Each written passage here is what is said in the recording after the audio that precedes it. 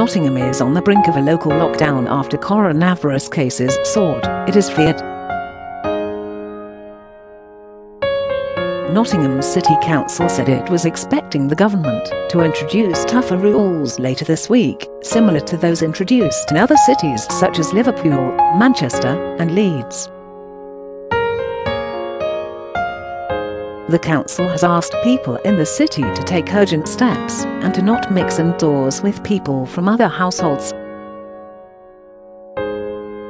Latest data from Public Health England reveals that the city has the sixth highest infection rate in the country after new cases soared sixfold in just a week. There were 1,273 confirmed cases in the seven days to Friday, much more than in many areas currently in local lockdown. And nearby areas have also experienced a jump in their figures in the same period.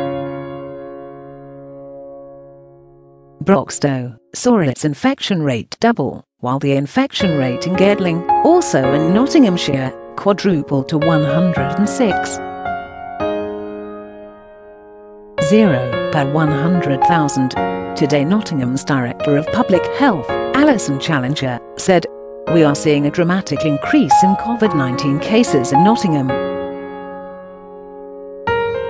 Our rate of infection is now rising higher than many other parts of the country. This is a significant and worrying change.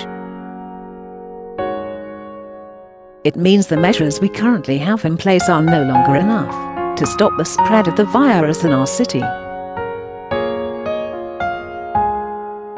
We will have to do more to keep people safe in Nottingham. The 20 places in England with highest infection rates Manchester 529. For cases per 100,000 Knowsley 498.5 cases per 100,000 Liverpool 487.1 cases per 100,000 Newcastle upon Tyne. Cases per 100,000 Burnley 411 6 cases per 100,000 Nottingham 382.4 cases per 100,000 Leeds 316.8 cases per 100,000 Street Helens 311.8 cases per 100,000 Sefton 307.9 cases per 100,000 Halton 299.0 cases per 100,000 Preston 294 8 cases per 100,000 Pendle 294.2 cases per 100,000 Rochdale 287.3 cases per 100,000 Sheffield 286 6 cases per 100,000 Salford 278.2 cases per 100,000 Hyndburn 269.0 cases per 100,000 Exeter 262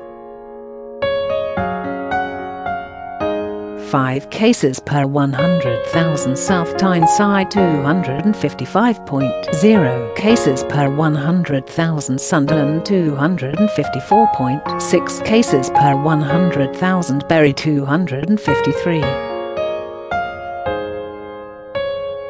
For cases per 100,000 we would urge people to take action now and not mix indoors with people from other households.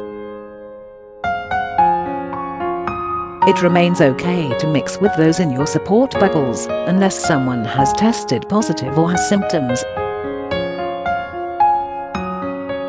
We would ask people who have symptoms of COVID-19 high temperature, continuous cough or loss of taste or smell to self-isolate immediately and book a test by calling 119.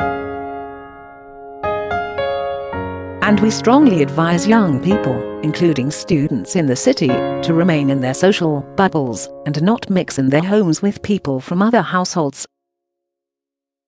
A large number of cases have been identified at the University of Nottingham, where there were 425 confirmed cases in the week to Friday. But the public health director said that this was not the sole reason for the jump in new infections.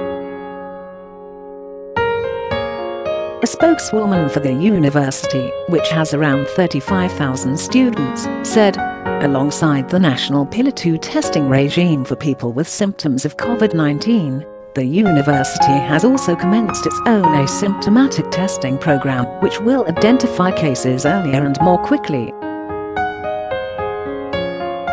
while this will mean that our case data will be higher than other universities, we can identify cases that otherwise would remain undetected and thereby reduce asymptomatic transmission and the number of future cases.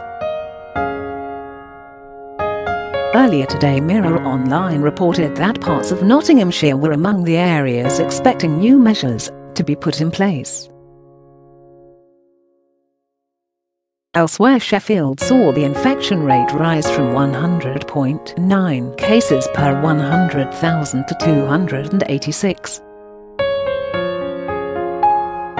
6 prompting health leaders to say new restrictions are inevitable. Greg Fell, Sheffield's Director of Public Health, told BBC Radio Sheffield this morning, My sense is it's a matter of time and it's a matter of when, not if. I couldn't judge when, but I sense we'll be in the space that other councils have had an imposed lockdown over the next month. I would be surprised if we last that long.